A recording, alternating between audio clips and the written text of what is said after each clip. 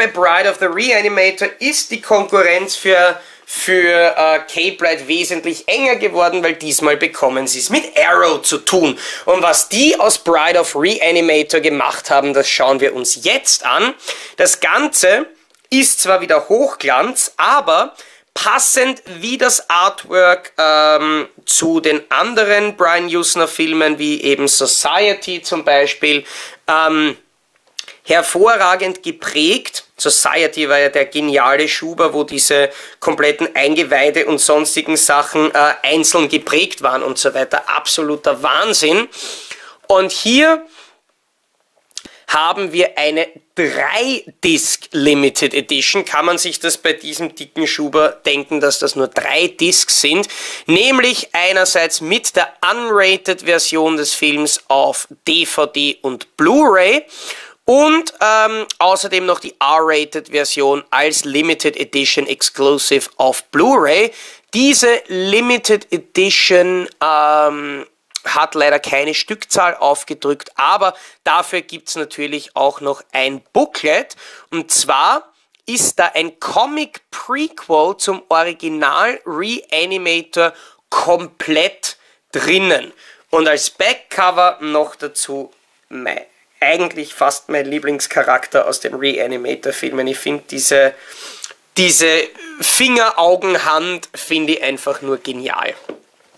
Also, fangen wir einmal an mit dem Digipack, das finde ich wirklich großartig gestaltet ist, wie man es äh, von den Title-Credit-Sequenzen des Films kennt. Das ist ja echt wunder wunderschön.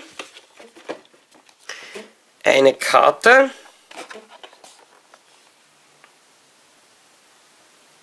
Quasi ein Werbeflyer zu dem Release, den wir gerade haben. Okay, passt, ja, spannend. Ähm, ein kleines Booklet. Und dann da eben die drei Discs. Und das Ganze ist ja wirklich wunderbar. Es geht dieser Winkel für diese Verpackung nicht. Das ist einfach, das ist einfach bitter. Aber wenn wir das entfernen, da sehen wir wirklich, da passt alles zusammen. Da ist alles durchgehend, alles gleich. Das ist wunderschön und ich glaube, damit habe ich alleine in diesem Video bereits mindestens zwei Kandidaten äh, für meine Top 10 der besten VÖs des Jahres, weil ich meine, das Einzige, was man an diesem Release noch verbessern hätte können, wäre die Tatsache, dass wenn man eh nur drei Discs hat, dass man für die drei Discs auch drei Trays machen könnte ähm, und ein Digipack hätte, das man noch einmal aufklappt. Aber ihr wisst, Digipacks haben es bei mir immer außerordentlich leicht. Vor allem, wenn dann auch noch ein klitzekleines Comic-Heftchen dabei ist, nämlich ähm, Dawn of the Reanimator, eben vorher schon vorgelesen, ähm, aus März bis Juni 1992. Und das Ganze hier einfach ganz komplett abgedruckt. So, geile Cover. Das eigentliche Comic halt nur in schwarz-weiß.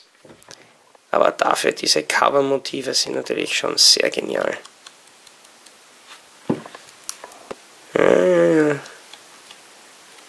Also quasi ein vierteiliges Comic, da ist dann noch der erste Teil.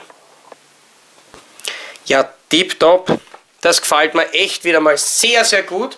Top Arbeit.